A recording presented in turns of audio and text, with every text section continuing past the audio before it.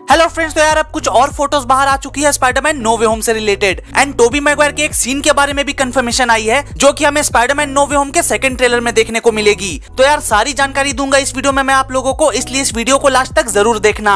तो बिना किसी देरी के चलिए वीडियो को शुरू करते हैं. तो दोस्तों, कल एक फ़ोटो लीक हुई थी जिसमें डॉक्टर ऑक्टेवियस अपने टेंटिकल्स की मदद से टॉम हॉलैंड के सर को चकनाचूर करने पे तुले हैं, जो सेम चीज़ उन्होंने टोबी मैगवायर के साथ भी स्पाइडरमैन टू में की थी. लेकिन यार, क्योंकि टॉम हॉलैंड ने आयरन स्पाइडर सूट पहन रखा है तो शायद उन्हें उतनी ज़्यादा तकलीफ़ नहीं होगी जितनी की होनी चाहिए थी। लेकिन यार, फिर भी डॉक्टर ऑक्टेवियस को कम बिल्कुल भी मत समझो। मुझे इतना तो यकीन है की मूवी के इस सीन में doctor Octavius iron spider suit को पूरी तरह बर्बाद करने वाले हैं। क्योंकि यार, तभी तो अपना मुरारी इस काले वाले सूट को पहनेगा। और दोस्तों, जरा ध्यान से देखो कि इस पोस्टर में क्या लिखा है। ये सिर्फ़ एक सीक्वल ही नहीं, ये एक बहुत ही बड़ा मल्टीवर्स का मेला है, जहाँ पीटर पार्कर पास्ट के आइकॉनिक विलेन से लड़ेगा। और ये है स्पाइडरमैन द एंड गेम तो दोस्तों, यहाँ स्पाइडरमैन नो वे होम को स्पाइडरमैन का एंड गेम कहा गया है। और यार, सच में एंड गेम बन चुकी है ये मूवी क्योंकि यार, इतनी ज़्यादा हाइप तो मैंने एंड गेम के लिए भी नहीं देखी थी। और एंड गेम का नाम सुन के फिर से ये कंफर्म होता है कि ये एक स्पाइडर वर्स मूवी है। क्योंकि यार, जिस तरह से एवेंजर्स एंड गेम में सारे एवेंजर्स थे, उसी तरह स्पाइडरमैन द एंड गेम में सारे स्पाइडरमैन होंगे।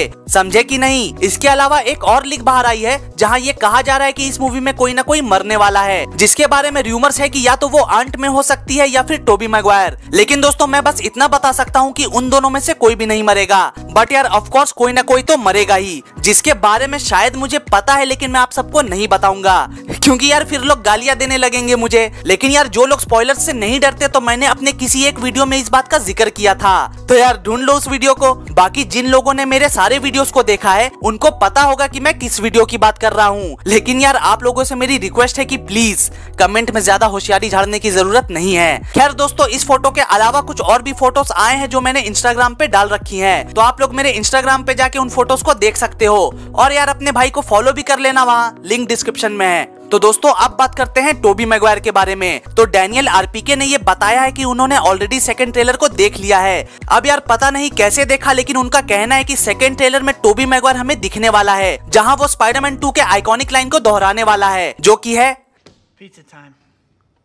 अब यार, ये बात तो आप लोगों ने सुनी ही होगी कि नो वे होम का सेकंड ट्रेलर पूरी तरह से तैयार हो चुका है। और जो वहाँ के सेंसर बोर्ड वगैरह होते हैं, उन्होंने भी ट्रेलर को अप्रूव कर दिया है। और अब ट्रेलर किसी भी वक्त आ सकता है। और डैनियल का ऐसा भी कहना है कि सेकंड ट्रेलर हमें 15 नवंबर या फिर उससे पहले तक देखने को मिल सकता है। अब यार, ध्यान से सुनो। मैंने कहा डैनियल ने पंद्रह नवंबर ऐसी पहले कहा है। मैंने नहीं। तो अगर 15 नवंबर तक भी ट्रेलर नहीं आया तो यार अपने गुस्से वाला बिल मेरे पे मत फाड़ना। क्योंकि डैनियल भैया जिंदाबाद। जो डैनियल भैया बोलेगा, वो हम तुम लोग को बोलेगा। और जो डैनियल भैया नहीं बोलेगा, वो हम तुम लोग को डेफिनेटली बोलेगा। तो यार, बस आज के लिए इतना ही। जाने से पहले कितनी बार बोलूँ यार, कर दो लाइक और सब्सक्राइब तो मिलते हैं अगली वीडियो में। तब तक के लिए गुड बाय टेक केयर